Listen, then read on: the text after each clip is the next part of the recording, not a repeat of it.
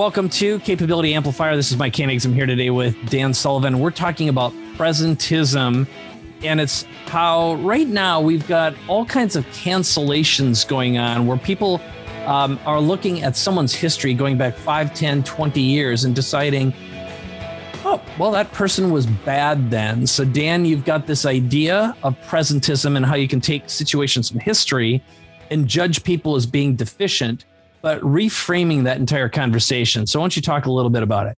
Yeah, I uh, first of all, just a little personal history. I was born in the 1940s, and uh, you know, when you went to school in the 1950s, you had things like history, you had things like geography, you had things like civics, you had things like religion, and um, so you know, uh, part of your learning was things that happened centuries ago and you know, in uh, in the country itself and then around the world.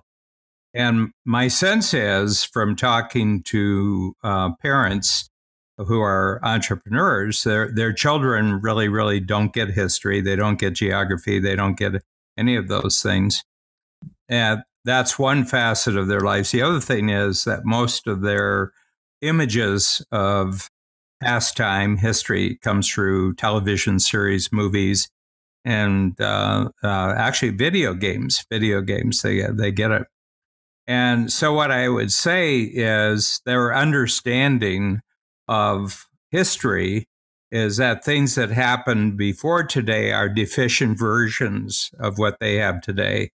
And therefore, they can stand on judgment of how things were 100 years ago, 500 years ago.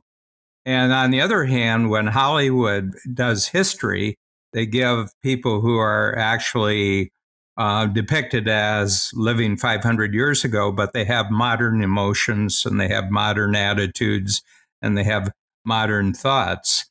And um, so, so my sense of this, because uh, I read a book about uh, 15, 20 years ago and the title really intrigued me. And he said, The past is a foreign country. Okay. And mm. he just hmm. walks through that uh, uh, you wouldn't be comfortable there. Anybody going back 100 years, you would not be comfortable.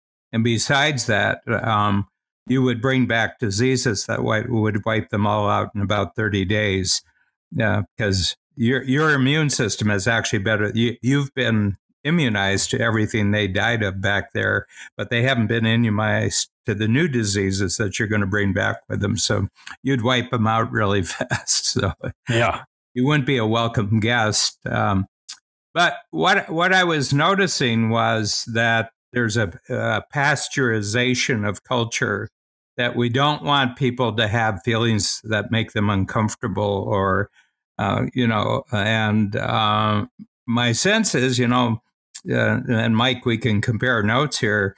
Um, virtually all my growth in life has been encountering things that made me comfortable and then, you know, kind of getting used to it and building new insights and building new capabilities.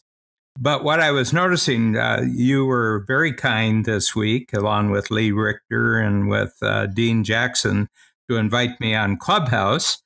Um, and uh, somebody today said, Well, what was that like? And I said, um, You grew up in the country, and then one day they plopped you down in Times Square on Friday night.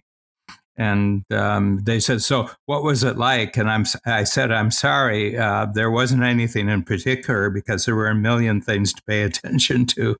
Right, right, yeah. Uh, but within about four days, so from Monday till Thursday, I'd, I'd gotten some feet under my ground, and uh, and uh, and so I was in the experience again yesterday, and I, you know, there I was starting to get uh, getting getting a feel of it. But I brought up this uh, topic of presentism, and I got about four or five comments. People said, "Presentism, what is that?" So my sense is, um, why uh, why do you think? I mean, I'm I'm I'm into history in some way almost every day, you know, I'm reading about things that happened quite a long time ago and, you know, very intrigued, very, very intrigued by it. And, um, you know, and uh, it's kind of a comfortable place for me to go. Yes. Well, um, so you gave me a lot of uh, fertile ground here for comments, but I I um, really want to zoom in on one thing in particular, which is uh, the fact that there's a general lack of understanding of history and geography. And so I've got an 18 year old, Zak, and we really have lived through the Generation Z that has been 100% raised with their phones in their hands from is, you know, some of them toddlers and preschoolers. You know, you had to, as a parent, you had to be really careful that it did not become a permanent pacifier because it's a, a full on drug. And Zak, for example, was one of the last kids in his class to be given a phone, but he had to have one in order to actually do class. He, they literally did real time classwork through their phones so they could do real time answers and tests.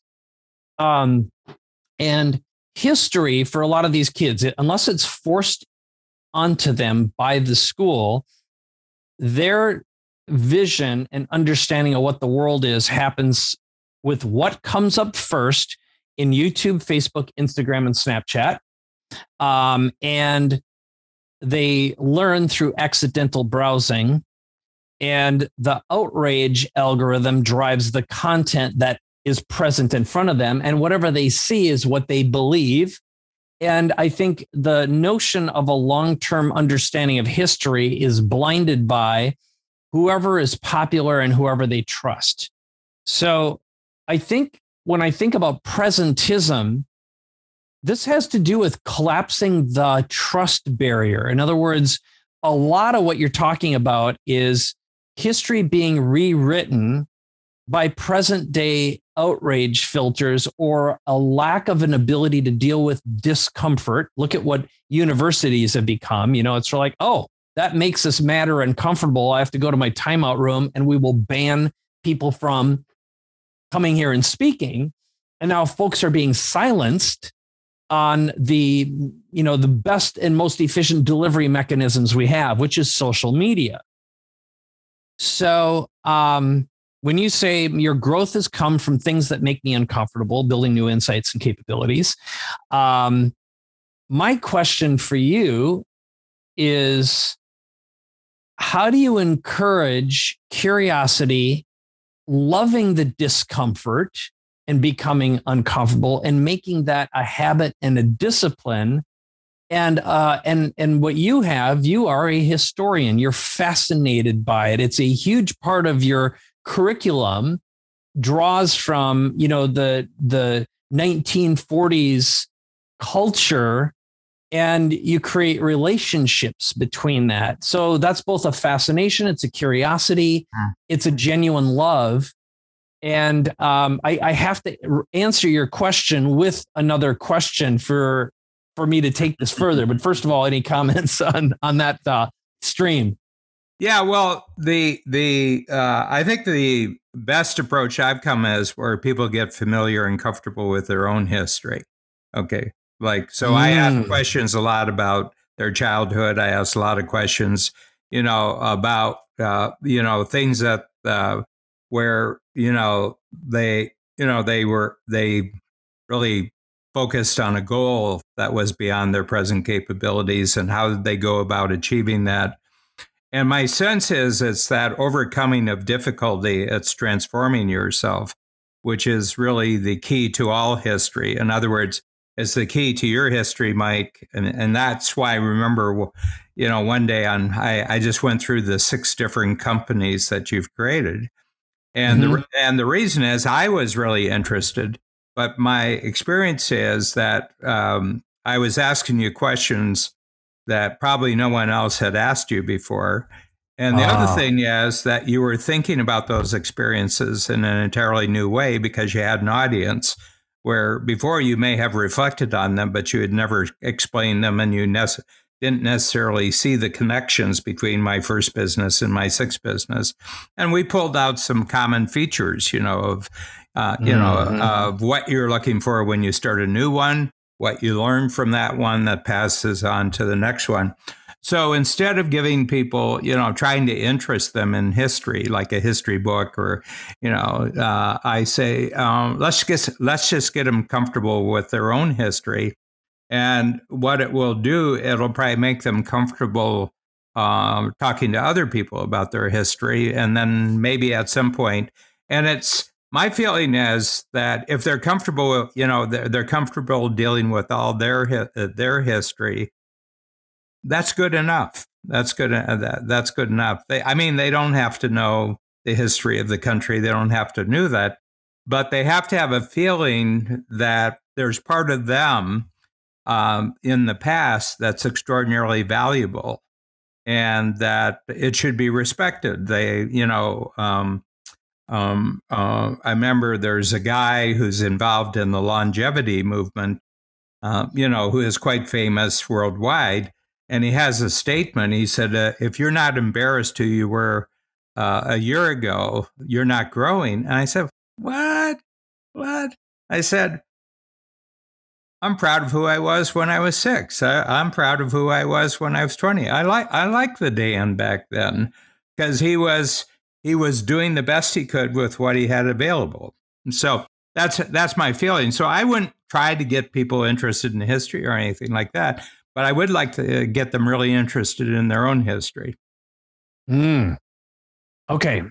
Um, I need to help you deconstruct your thinking process here because I think this is the most fascinating thing I want to know is you know how to narrate the best questions to ask someone in order to get them interested in their their history and so um, and when you were just talking about deconstructing, you know, my interest in why I did the six businesses and what they all had in common, for example. So part of what you do is you you spot the patterns, um, and also know how to get everyone interested. And I see that whenever you're leading uh, a strategic coach experience of getting a lot of feedback and asking great questions. So if you are going to help someone, first of all, to understand their history, but also trigger their fascination with, with history, driven from self interest first, and then expand their mind to say, oh, wow, if I explore even more history, it's going to benefit me. So, what's your thinking process, and what kind of questions do you ask that allow you to gather lots of information in the shortest period of time? Um, well, first of all, uh, I've gotten extremely choosy about who I ask questions of. You know, oh, what yeah. I know in my 70s, I'm incredibly more choosy. And generally speaking, I'm not really interested in people's history if they're not entrepreneurs. Mm-hmm. And the reason be, uh, being that it's my experience that entrepreneurs, whatever age they are, okay, you know, 40, 50, 60, uh, of all human beings walking on the planet, they're more like their six year olds than any other type of human being. That that makes sense. Um, my little I, add to I that can, is I can okay. see I can see you as a six year old. You know, uh, you know, uh, and, and, I ha- I have a feeling that what has changed is knowledge. What has changed is skill. Uh, what has changed is your sense of comfort uh, with new situations that you haven't gotten to the bottom of yet, like that. But my sense is that there's a direct line, there's a direct connection between the Mike at your age right now and Mike at six years old. And I can picture you on the farm because I grew up on a similar type of farm. And, uh, you know, I, I, I would say that you Probably, and uh, probably there were a number of years when you were getting away from who you were with six. And my feeling is maybe within the last 10 or 15 years, you've crossed over where you're going back and you're reconnecting with who you were with six. So, what I find is that um, most entrepreneurs, when you get them to talk about their life, it's a single lifetime theme that just keeps adding dimensions.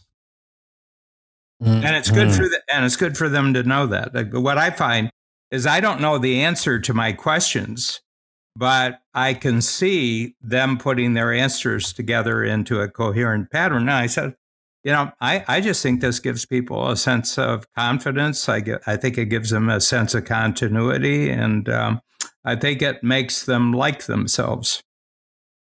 Mm. Okay. So I have described you a number of times as the happy kid on in a neighborhood block. So you imagine a young Dan shows up, knocks on your door, and says, uh, "Will you come out and play?" in the sandbox. You don't have to bring anything, and we're going to make a castle together that's a hundred times better than you could make on your own. That's the way I see you. You bring that spirit and that energy, and all of these things are congruent with that. Which are, if you think about six-year-old Dan, um, and and seventy-six-year-old Dan, mm-hmm. um, freedom and happiness, and a constant positive focus is um, is my definition of Dan. Yeah. Yeah. And anytime uh, someone around you, and I, I've, I, to the best of my knowledge, I think I've only pushed your buttons a couple of times, and it's because I was talking about a deficiency, and you're like, no, no, no, no, no. Look at this. Look at where we are, and um, and it was that your your rails are a one way street to positive focus all the time mm-hmm. and freedom equals happiness. So when I think about what you just described is uh, first of all, you said I'm really choosy. And um, so entrepreneurs have the qualities that you find happy. Yeah. Um, but again, inside of that, you're you're able to tap into someone's big why with very few questions. And I, I just want to re-ask you that question again, which is um, what are you what do you consistently find activates that entrepreneurial mind so they can rediscover themselves and find that that confidence, that continuity, and that joy well, that you're attracted to? Well, one uh, one of the um, uh, you know, I mean, and it's uh, kind of a trick uh, is that I know um, I know that entrepreneurs are a sucker for this. Okay, and and what I mean by that is they don't like doing it themselves. Uh, that most entrepreneurs don't like looking back. Okay, and uh, to a certain extent, they want to get on to the next thing. Okay, because they have a discomfort you know they they still feel the discomfort from earlier stages of their life when they uh, you know, they, um, you know, they were they were talking a better game than they were playing, and it made them very uncomfortable. And and uh, I said, yeah, but yeah, I I said, uh, so so big deal, you know. Um, you know, I mean, uh, you you were doing new things. Who's re- who's who's totally capable and confident about a new thing before you've done it? You know, I, I said, you know, you're you're asking for the impossible. You're you're asking for the person that you were at a much earlier stage to have done the impossible. And I said, uh, you can't do the impossible now. So why you why you are ratting out on your previous self because that person couldn't do the impossible? You know, it was it was uncomfortable. But on the other hand, you haven't changed at all. So there must have been something about it that you liked. Right. Huh. Um, no, I don't know the answers when I ask the question, but I do know that they have the information that they probably haven't put together. And when they put it together, they get a wow, I haven't seen that, you know, and everything like that, you know. So, and they feel better afterwards. They they get perspective, they get a sense of continuity and everything, and all that's good for their present and future self. I mean, it's not their past self I'm really passionate about. It's how they're seeing their present and future self that I'm passionate about. But but the best thing they have going for them is what they've already done. And if they don't know it, then my feeling is we should get to know it first, and then they have a sounder foundation for going further. Okay. And in doing so, you know, one of your great tools is the experience transformer. Um, how do you see that fitting into the um, understanding where you are, where you want to go, and appreciating where you are, and con- kind of like consolidating that experience? Yeah, and just to give you uh, the explanation, uh, you know, um, and uh, you know, I had some negative experiences that were blindsides. And I began to say, you know, um, if you don't learn from that experience, uh, it's going to repeat itself, you know. And, you know, I don't mind doing anything stupid or a failure the first time, but I really mind doing it a second time. Yeah.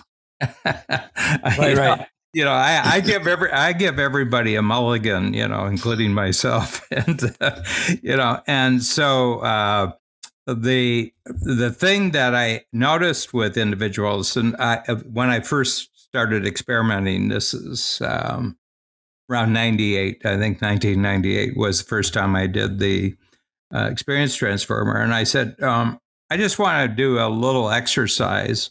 I want you to take back to your teenage years because the teenage years is just uh, an emotional, you know, it's an emotional minefield, you know, for a lot of different reasons, you know, and hormonal. A lot of it is, horm- you know, hormonal. Right. And uh, I said, I want you to think of a really negative experience that you had when you were a teenager. And uh, I just you know, let's write down, let's brainstorm a few things. And I bet it has to be during your teens, you know, your high school. And uh, and um, and you don't have to share this. You don't have to share this at all. I just want you to think through it because I'm going to use it as simply an example of what you can do with a negative experience. So anyway, um, um, they go back and I said, okay, now write down what the experience. And a lot of them just really had a hard time actually writing down. They said, "Oh, do we have to do this?" And I said, "Look, it's not going to last long, and you're going to feel better afterwards, and uh, you're going to feel better afterwards." And they write it down. And I said, "Okay, um, okay. Before we go deep into this, um, what was good about that experience?" And they said, "Well, well," know. I said, "No, no, no, no. What was, uh, uh, uh, you know, what was." Uh, you know, and I make a joke and I said, I mean, 30 years later, aren't you glad you didn't marry her? You know? And, yeah, yeah. you know, you know, and that gets a laugh and it sort of breaks the tension and everything else. And I said, we're just going to see, you know, I mean, um, how are you better today because you had that experience back then? You know, just write down some things of how you're better back then. And once they get one or two down, then it's easy. You know, they'll get four or five down. Yeah. I said, okay. And I said, now the reason we did this is that that experience took your confidence away. And we can't learn anything from the experience until we get your confidence back. And the way we got our comment, we just did a positive focus on the experience. So it was actually a good experience. And then I said, okay, now write down everything that was bad about it, which is a lot easier for them to do once sure they've neutralized. It was a, it was a little, you know, it's a little bit like a painkiller. The first column is like a painkiller, you know, and you know, actually, you know, it follows, um, you know, it very follows the modern up to the moment of using psychedelic drugs for people yep. to go back and deal with PTSD.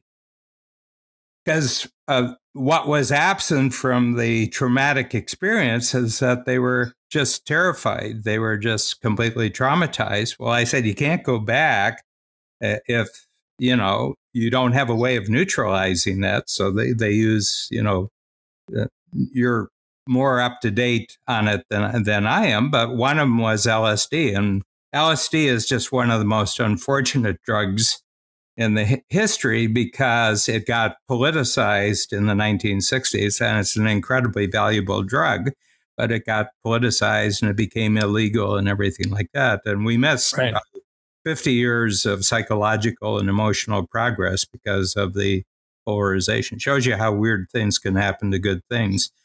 And yeah. And anyway, so they go through. Now they've got two columns. They've got five good things, five bad things. And I said, okay, now based on looking at both columns, you can't go back and relive that experience. But if mm-hmm. you have a, an experience in the future that feels similar, how would you approach it this time, knowing what you now realize about the past when they go through? And they go through, and I said, now we don't have to share that. And I said, no, no, we want to share it. We want to share it. they didn't even want to think about it, uh, you know, 20 minutes previously, and now they want to share it. And that, and that which is really helpful too, because people ask them questions and they see connections. So I said, now we've spent a half hour total, maybe 40 minutes. And I said, uh, when you think of that experience, how many of you had a painful experience? No pain. And I said, can I tell you what the pain was? You had a powerful experience and you didn't learn anything from it. And that's the greatest mm-hmm. pain in life is to have a powerful experience and learn absolutely nothing of it, nothing from it. Now you've learned from the painful experience. Now you don't need the pain anymore. Mm. Mm. So that's oh. that's my that that's my you know an entrepreneur. I mean, think about the early years of being a you know an entrepreneur. I mean, I mean, yeah, yeah, yeah. You know, you're just uh, you, you're in no man's land with a lot of stuff. You know, and yeah, and you know, and um, you know, there's so many skills that only being out there business year after business year after business year, and you start to get a pattern, you start to get a structure, and you start to get a process. You know, right. I mean, uh, a lot of my team members were asking me because, you know, I flipped in about 12 hours on the COVID thing. Uh, you know, I, I was kind of thrown by the decision on Friday night at six o'clock that we were going to cancel the next quarters of workshops. And, yes. And by, you know, eight o'clock the next morning, Toronto time, I said, okay, Zoom. I said, this is where Zoom is going to be. And I, I already was focused. I said, okay, good. Um, we've got something to, we've got a capability we can really maximize now. I, I was uh, 10 hours uh, was all. And I and people said, "How'd you do that?" And I said, "I just transformed hundreds of really bad experiences in my life into lessons, and this one isn't going to be any different." Mm. Mm. Hmm. Hmm. Powerful psychology. Well, I'll tell you what. Well, I know well, you and I could go down. Is, go ahead. Why, well, this is why I'm interested in entrepreneurism because people who aren't yes. entrepreneurs can go through that type of process, but they don't actually do anything with it. They just feel yeah. better. You know, they just feel better. Entrepreneurs will immediately take that and said, "I'm going to use this in the future. Now I can take on bigger and better things." So um, um, a lot of my stuff would be wasted on people that aren't entrepreneurs because they wouldn't do anything. Yeah, oh, that was great hour. That was a great two hours. And I said, yeah, but you're not going to do anything with it. Yes, that that is the distinction.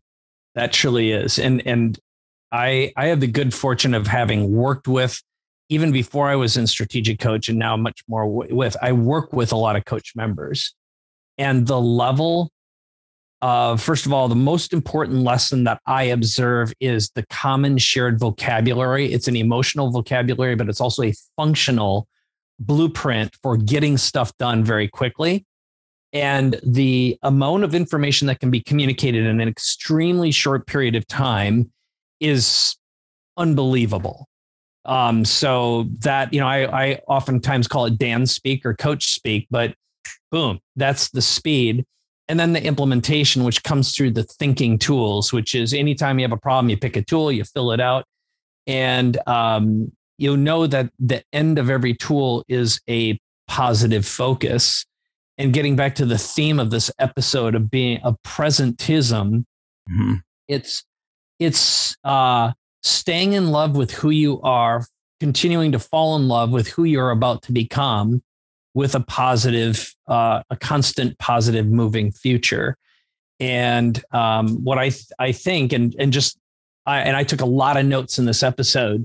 There's an enormous um, amount of thinking that can be gathered th- through this. Um, I'm just looking at the path, and what I'd suggest to everyone who's listening or watching this right now is re-listen to this episode and pay attention to how Dan thinks because there's some real, real gold here.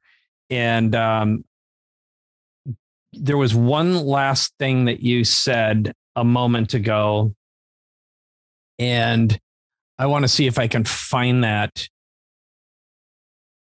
Give me a moment here. Good fortune. Okay. Da, da, da. Okay. Yeah. Here's what it is. A lot of my stuff would be wasted on people that aren't entrepreneurs because they wouldn't do anything. And that really is the the um, other key distinction is the number one goal that you talk about is um, happiness comes from freedom. Mm-hmm. And what coach and entrepreneurialism is all about is freedom first and foremost. You know, it's the four freedoms, as you say freedom of time, money, purpose, and uh, relationship. Maybe not in that order. Mm-hmm. Um, it's different for everyone.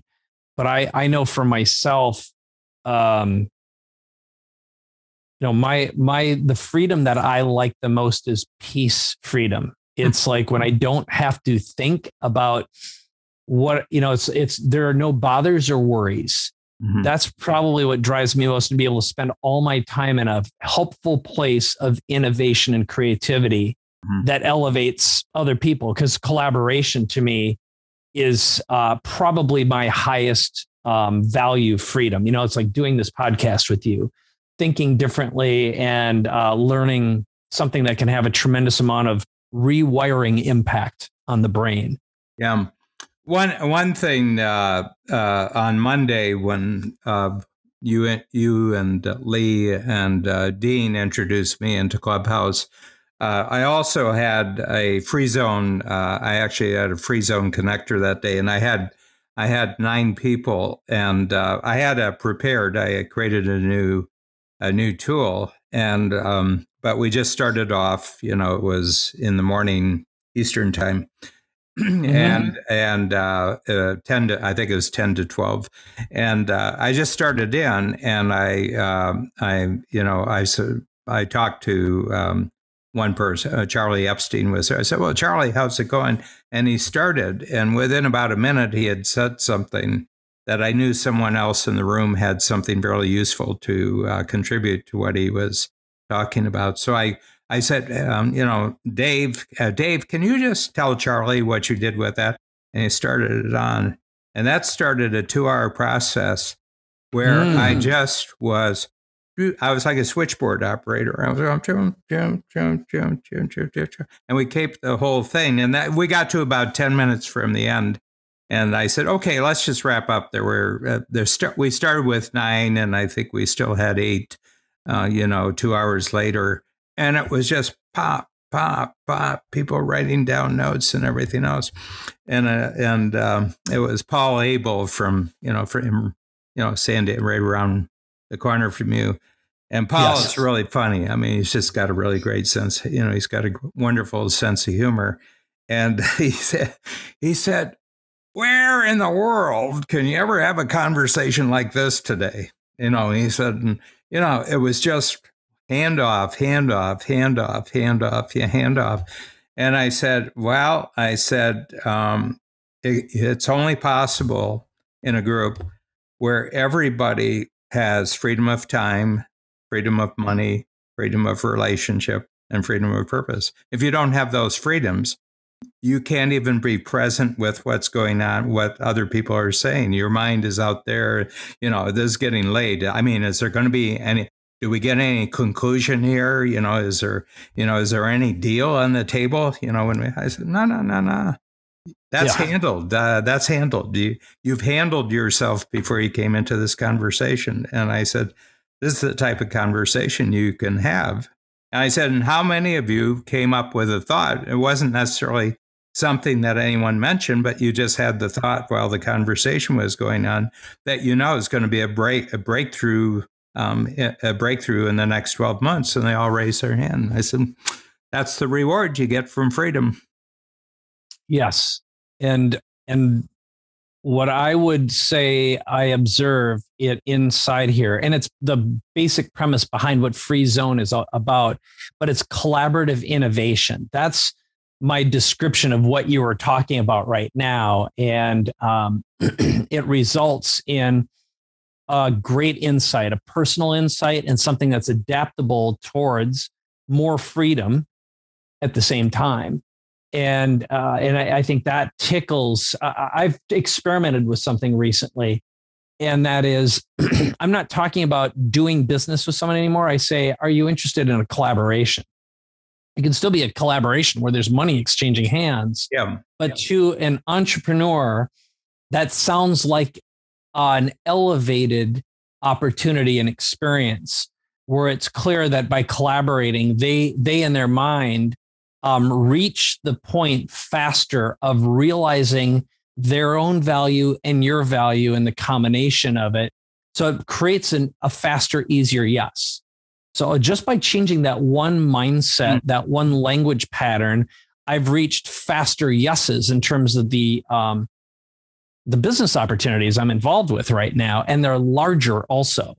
Yeah. Um, so I think that is really uh, a universally loved thought process that I'm I've uh, um, when it's intentionally presented in front of an entrepreneur, they're like, "Yeah, I want I want more yeah. of that." Yeah, and um, I, am going to explore more of that when I talk to Paul uh, Hamilton next um, about and Shannon about the webinars and the language patterns um, during the enrollment process for for coach because I think that that mindset and that language pattern is definitely more attractive to the buyer.